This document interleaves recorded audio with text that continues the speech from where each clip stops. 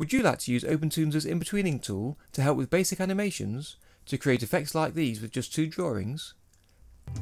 Firstly, I'd like to say that I believe hand animating will always give a better result if you're good at drawing, but if you're not, or if you've got a mechanical movement to animate, then the Animate tool or the Auto In-Betweener is a good alternative. For instance, animating a pendulum. The animation on the left hand side is hand animated, and I was able to add some character to it by having it bob a little at both ends. And the one on the right is animated using the Animate tool, and you can probably easily see the difference. The one using the animation tool, although smooth, is very mechanical, and this can be the problem. It can stand out amongst hand animation. And the same is true for animation from the in-between tool, but it can still be a very good way to add animation. So let me give you the 5 minute overview before I get into showing more detailed ways to use it. And as always, you can find timestamps in the description if you'd like to skip or go back to a section. So firstly you need to understand the difference between adding drawings to a level as shown in the level strip and not necessarily shown in the animation, and then exposing these drawings in the timeline or the X sheet as frames in your animation. And to set up in between, we have to use the level strip and then would later add them to your timeline. And you might already have the level strip showing, but if not, you can add it from the Windows menu. And now just dock it at the right hand side, but you'll notice that you can't actually dock the full height at the right hand side while the screen is maximised. So you need to restore it, and then you can dock it to the full height just like that. And the level strip shows thumbnails of each drawing, which is quite handy having them large as we have here, but you can only see 8 drawings at a time. And to animate a slower movement, I prefer to have smaller images in the level strip, so we'll change the size of that. And you can do that in the Preferences dialog, in the File menu, and if you go to the Interface section, under Icon Size, that's the standard size you get, 160 pixels by 90. So I'll just half them down to 80 and 45. And as you notice there's an asterisk next to icon size, so you need to restart OpenToonz for this to take effect. So I'll just do that.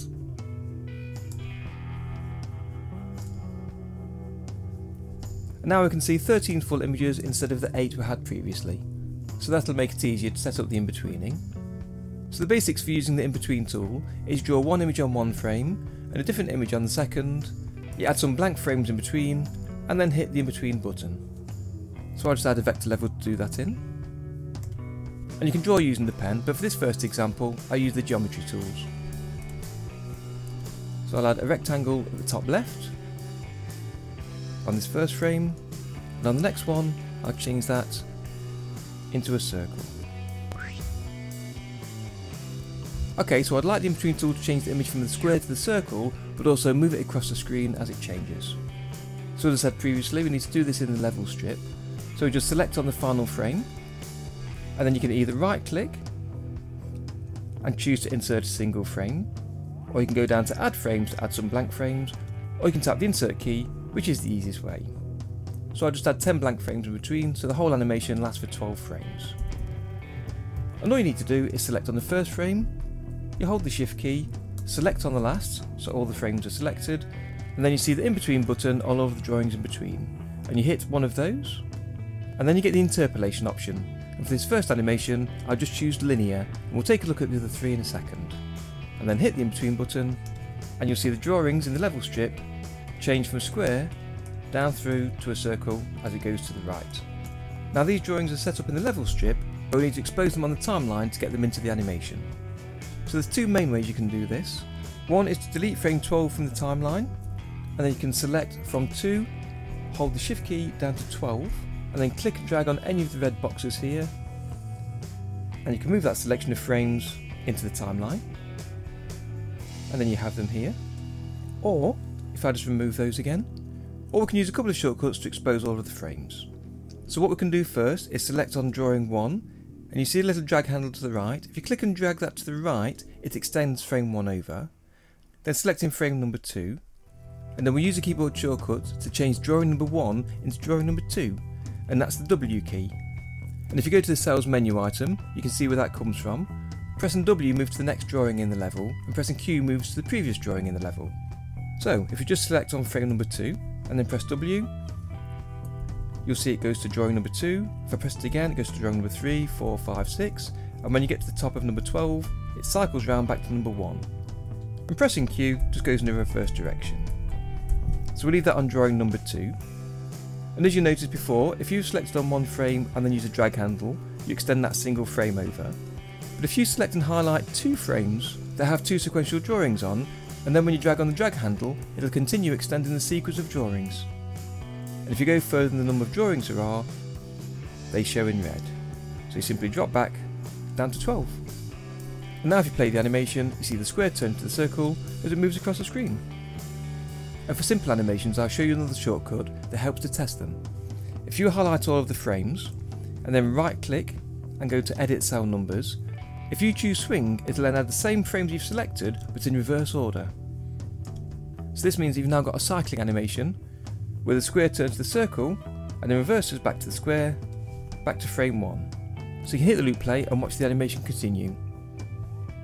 So that's the basic way auto in betweening works, but there are some issues you'll have to bear in mind, and solutions to them I'll show you in a sec.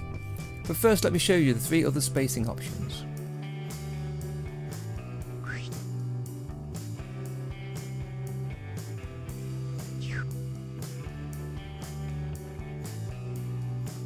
Okay, so I've got four levels here, all going from identical squares through to identical circles. But you'll notice if I press play, that the speed of the change is different for each one. Now I won't go into this in great detail, but it gives you a bit of basic control over how quick the change happens. So if I change the order of the layers to match the on-screen animations, so the ease in and out is at the bottom, then it's ease out just above it, ease in above that, and linear at the top. So you can see the second and fourth move out from the beginning slower, and that's because they've got ease in for the animation. and the bottom two items arrive at the circle a little slower because they've got ease out. Now the in-between tool doesn't give you any control over this, but it's a good start. And once the auto in-between drawings are created, you can of course add your own in-between drawings to extend the animation or to slow down parts of it. Or you can hold the drawings in the animation by just extending the frames as they're shown. So if I extend the extreme drawings on frames 1 and 12, and then perhaps make frames 10 and 11 work on twos and on the opposite side 10 and 11 so they'll move slower. So if I hit play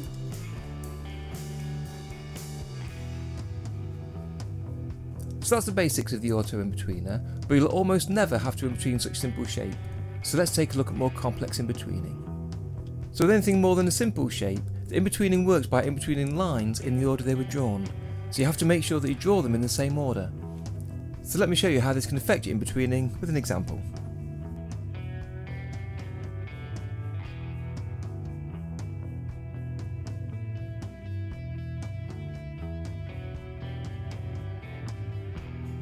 Okay, so that's the in-betweening complete.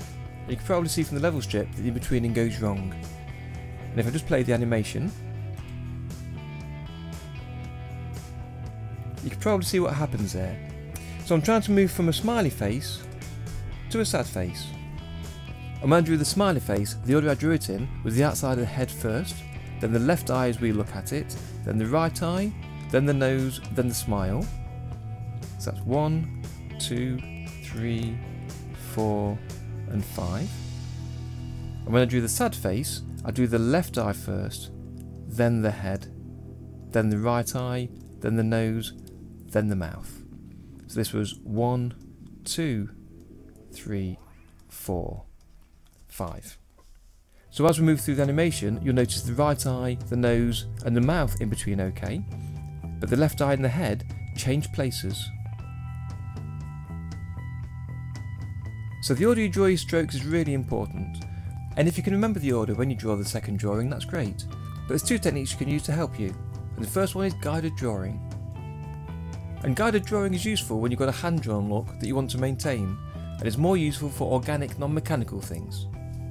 So I'll just draw the same face change again, so let's draw the first drawing. And then we'll go to the second frame. And for guided drawing to work, you need the onion skin on, so I'll turn that on. And then you just right click and go to vector guided drawing, and then you've got three options. And the one you want most often is closest drawing. And this shows the vector guided marks for the drawing nearest the current frame that has onion skin turned on. The furthest drawing, as you can imagine, shows the drawing furthest from the current frame, but still has the onion skin turned on. And finally, all drawings shows all the drawings with the onion skin turned on. And I'll quickly just show you that now.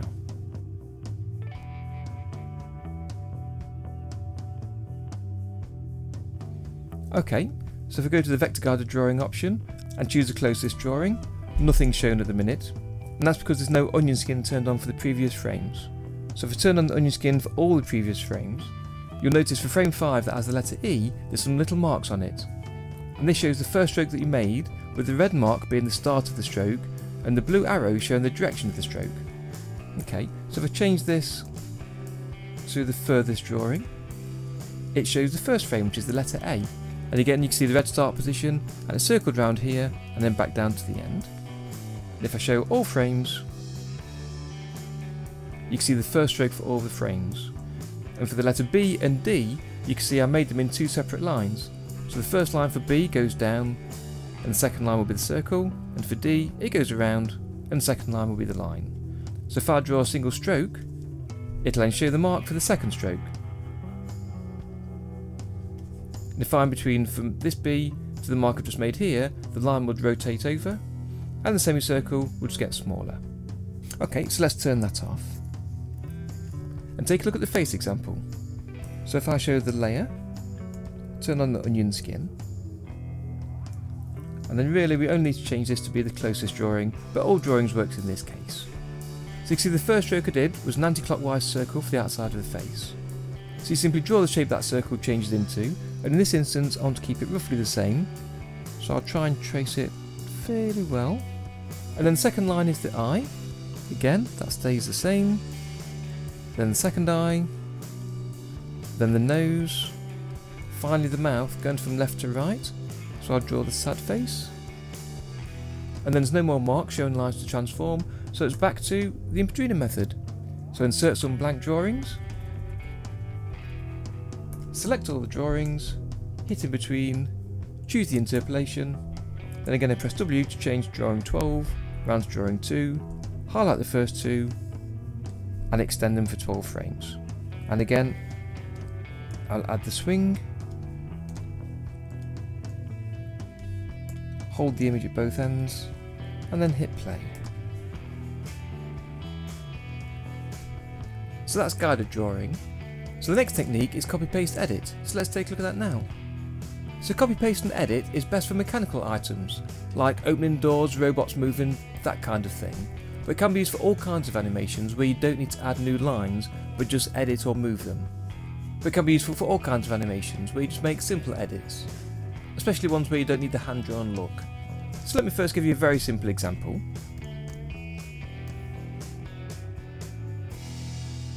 Okay, so on frame 1 I've drawn some rectangles. and If I just select those three and press Ctrl C to copy them, and then paste them onto the next frame. Okay, so we can use the select and control point editor tools to edit these shapes.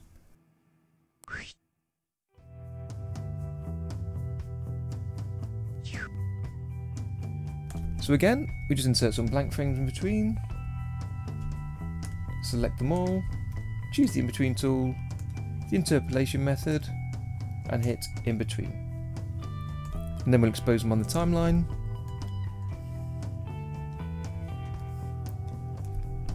And I'll make a repeating animation again. Let's extend this out. Okay, so let's see how that looks. And you can see the shapes are moving, points are being introduced, and curves are being introduced. So let me just show you a practical example for that. So there's one thing you could use this technique for, and that's to animate an opening door and simulate a little bit of 3D. So on the first frame, we just draw the door. We'll select that, copy it, and paste it onto the second frame.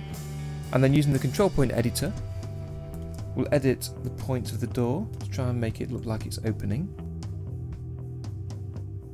And we'll also want to show the edge of the door, so we'll add another rectangle, we want this at a slight angle as the door's not fully open. And then we'll select that second rectangle, and we'll copy that onto the first drawing because it's got to emerge from somewhere. And what we'll do is we'll use the control point editor again to place this on the very edge of the door and make it really, really thin by placing the two points on top of each other. Let's try that. So again, we'll insert some blank frames and shift select the final frame to highlight them all. Choose in between. We'll leave it at ease in and ease out, so it starts off and ends a little slower. And hit in between. And let's just expose it onto the timeline.